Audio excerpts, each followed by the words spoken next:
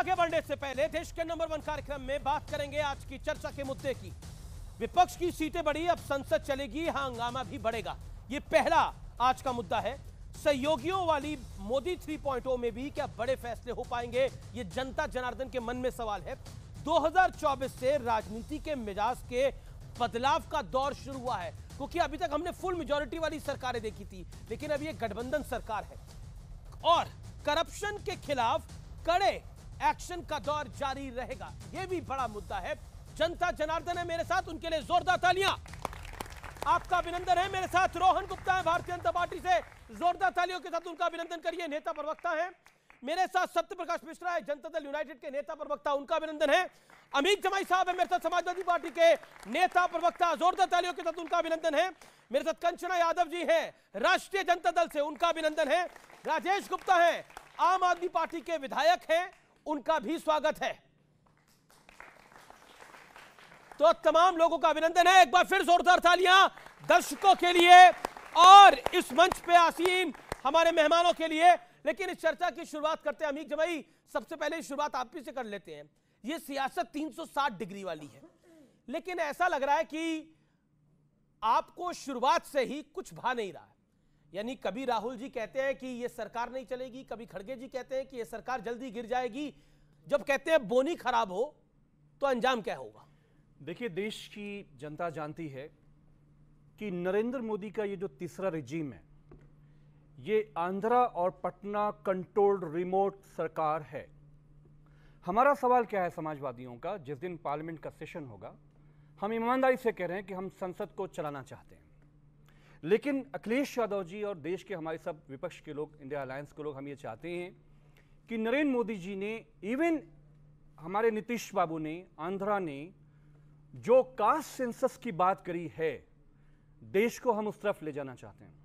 इस देश में सबसे चरम पर जो बेरोजगारी है कि युवा जो ताकत है भारत की, जिस 60 परसेंट युवा ने इस देश को बनाया, वोट किया, नरेंद्र मोदी जी को तीसरा रिजीम दिया उसके पास युवाओं के लिए रोज़गार की ना कोई पॉलिसी है ना शिक्षा के लिए कोई कार्यक्रम है नीचे जी, आपके सामने। जी जी अब आपने अपनी आप, 20 आपने अपनी अपनी बात रखा नहीं एक सेकंड एक सेकंड एक सेकंड। आपने अभी बोला कि नीतीश बाबू ने कास्ट सेंसस कराया पूरे देश में होने चाहिए।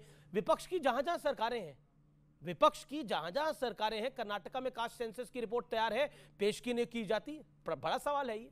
हिमाचल में क्यों नहीं किया जाता ये? कांग्रेस की सरकार है किसी से इजाज़त लेने की ज़रूरत नहीं है। तेलंगाना में आप लोगों की सरकार है वहाँ किसी को इजाज़त लेने की ज़रूरत नहीं है। अरे पंजाब में विपक्ष की सरकार है अगर तो वहाँ किसी से इजाज़त लेने की ज़रूरत नहीं है। मुझे समझ में नहीं आ रहा है। एक प्रश्न कि आप बोलते कुछ है और करते कुछ मैं आपको समझा रहा हूँ। जी जी जी। जब देश की सतह पर जातिगत जनगणना होगी जाति पर आधारित इस देश की जनता को गिना जाएगा। आप कहते हो ब्राह्मण पाँच परसेंट है हम कहते हैं उनकी आबादी ज़्यादा है उनके यहाँ गुर्बत ज़्यादा है। छत्रियों में बिहार में जो कास्ट सर्वे नीतीश जी और आदरणीय तेजस्वी जी के ज़माने में जो हुआ, जो रिपोर्ट आई उनके सामने, उसमें ये बताया गया कि जो छत्रियों की, वहाँ की ताकत है, वो एक मुस्लिम मेहतर से बदतर शिक्षा और नौकरियों में उनकी हालत है। हमारा ये कहना है, ईमानदारी के साथ इस देश में जातिगत जनगणना जनगणना करवा के जिसकी जितनी आबादी है, उसकी वेल्थ का आंकड़ा हो उसके पास मकान है नहीं है शिक्षा है नौकरी नहीं है अगर वो कहीं पे भी तो कमी ये है। कराया क्यों नहीं? कर्नाटक के अंदर रिपोर्ट तैयार है तो आपकी कांग्रेस की सरकार मैं पेश क्यों नहीं करी? अब आप अब के आपने स्तर की बात बोल रहा हूँ रिमोट कंट्रोल वाली सरकार मोदी को करना पड़ेगा। देश ने रिमोट कंट्रोल मोदी को करना पड़ेगा। आरोप झेलने वाले प्रधानमंत्री को देखा है जिसमें एनएससी सुपर पावर होती थी। और 2004 से 2014 के बीच में एनएससी को बनाया गया था। लेकिन ये रिमोट कंट्रोल वाली सरकार है। जनता दल यूनाइटेड के प्रवक्ता साहब जवाब दीजिए। ये बिहार से रिमोट चलेगा इसका पटना से रिमोट चलेगा।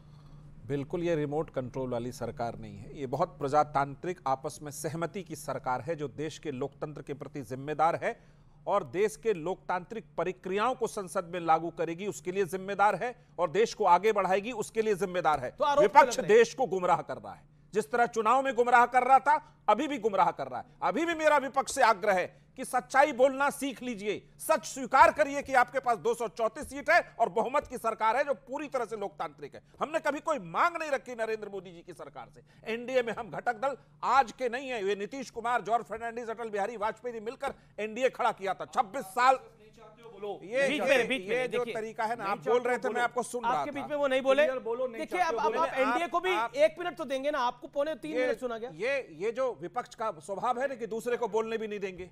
टीवी डिबेट में यह हाल है। जातिगत जनगणना पर ये आएँगे ना, कर्नाटक में कराया हुआ है, डेटा नहीं देना चाहते।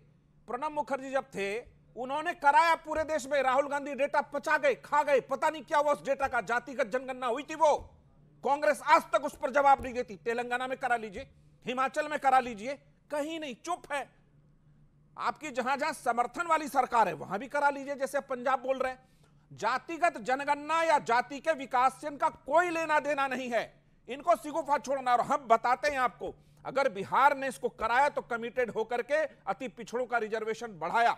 और हम मानते हैं कि देश में सबसे ज़्यादा पिछड़े और को सबलता नरेंद्र मोदी जी की सरकार ने दिया। उनतीस मंत्री हिंदुस्तान में पिछड़े जातियों का हिंदुस्तान में कभी नहीं बना। ये गर्व की बात है सरकार। ये। प्रजातांत्रिक सरकार जी जी जी। अब मैं अब मैं अब मैं अब मेरे को आरजेडी के पास जाना है। कंचना यादव फिर मैं भारतीय जनता पार्टी के पास आऊँगा। मैं पहले कंचना यादव।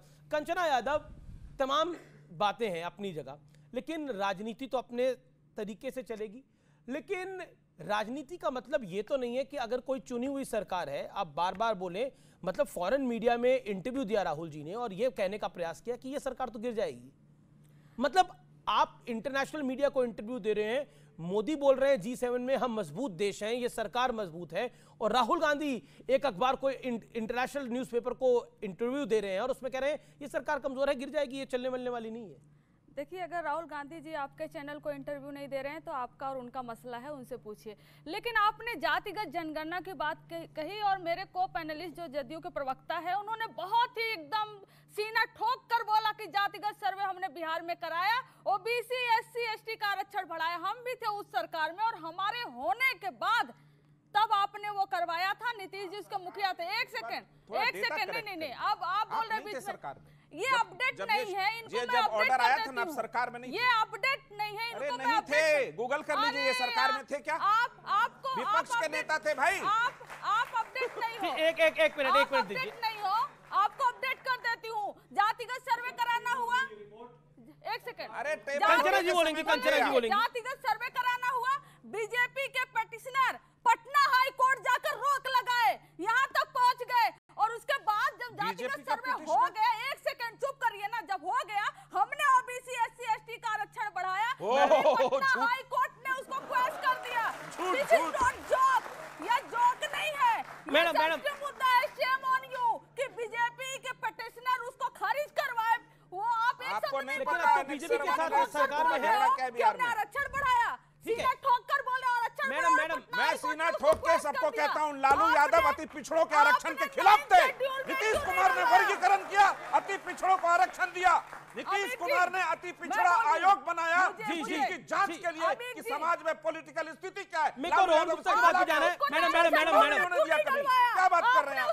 लालू यादव लालू प्रसाद यादव महिला आरक्षण के खिलाफ थे। जवाब दीजिए महिला जी। में क्यों नहीं डलवाया? आप महिला जी जवाब दीजिए। लालू जी लालू जी महिला आरक्षण के एक मेरा मेरा मेरा निवेदन मेरा निवेदन है एक एक एक करके एक एक करके सब बोले।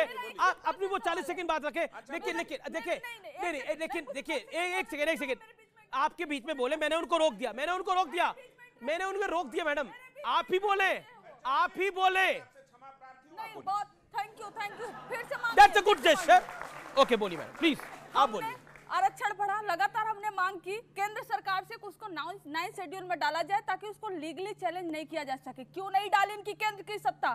क्यों नहीं डाली? वो चाहते थे कि उसको क्वेश कर दिया जाए। वो चाहते थे ओबीसी एक एक सीधा सवाल है और इसका सीधा सीधा सीधा जवाब है। एक सीधा सवाल और इसका सीधा जवाब 30 सेकंड में फिर मैं रोहन जी के पास चले जाता हूँ। बड़ी सारी बातें हो गई लेकिन मेरे प्रश्न का उत्तर नहीं आया। मैंने बोला कि जब चुनी हुई सरकार है 290 वाली सरकार है दो सौ चौरानवे वाली सरकार है तो उसके गिरने के सपने आप क्यों देख रहे हैं? आपके पास तो नंबर भी नहीं है। अगर मतलब मैं मानूं, आप आप बिहार को भी तोड़ लें मतलब आप आरजेडी को भी तो सॉरी जेडीयू को भी तोड़ लें, टीडीपी को भी अपने पास ले जाएँ, तब भी सरकार नहीं बना पाते आप लोग। देखिए, हमें किसी को तोड़ने और जोड़ने का कोई शौक नहीं तो फिर। काहे कह रहे थे राहुल जी? सुनिए सुनिए सुनिए आप पूरी बात सुनना सीख लीजिए लेकिन जिस तरह से आरएसएस इनको अहंकारी बोल रही है जिस तरह से आरएसएस इनको सबक सिखा रही है इनके ही पेरेंट ऑर्गेनाइजेशन हमें कहने की कुछ ज़रूरत नहीं है अहंकार तो आजकल आप आरएसएस को सुन रहे हैं भरे हुए हैं और और इनको हर बात पर ये जो 100 150 हमारे सांसद निलंबित कर दिए थे ना अब नहीं कर पाएँगे। अब नहीं कर पाएँगे। देखिए अब मैं रोहन जी के पास चलता। रोहन जी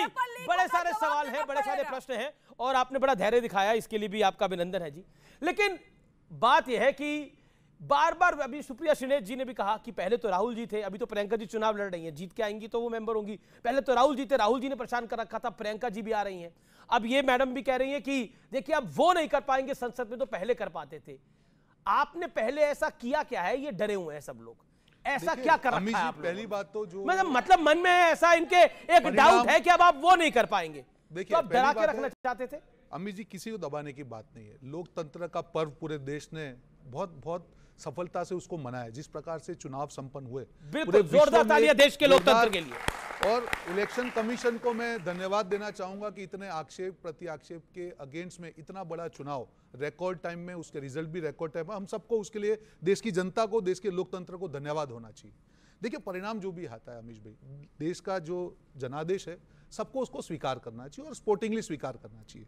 चुनाव के पहले जब ये इंडी गठबंधन बना उन्होंने दावे किए कि दो सौ हमारी सीटें आएँगी वो नहीं आई। उसके ऊपर कोई सवाल नहीं उठा। और दूसरी एक चीज़ हमको समझनी पड़ेगी उन्नीस सौ नवासी से मैं मैं यही कहा मैं यही कहना चाह रहा हूँ कि कोई भी पार्टी आज एक छात्र होशियार है अगर वो 100 परसेंट का अपना लक्ष्यांक जो सेट करता है और अगर पिचानवे मार करे तू तो फेल हो गया। और 35 परसेंट वाले 40 परसेंट लाते अरे बहुत तालियाँ हो गई मॉरल विक्ट्री हो गई। ये कहाँ का जनता से भैया आपकी मॉरल विक्ट्री आपको मुबारक। उन्नीस से 2014 तक अमीश भाई जितनी भी सरकारें बनी, उससे ज़्यादा सीटें इस सरकार की आई है। फिर भी इनको लगता है कि इनकी मॉरल विक्ट्री है तो मैं धन्यवाद देना चाहूँगा ऐसे विपक्ष को कि ऐसा विपक्ष हर सत्ता पार्टी को मिले कि जिसकी 50 से निन्यानवे सीट आने पे भी अपनी मॉरल विक्ट्री उसको दिखाई देती है।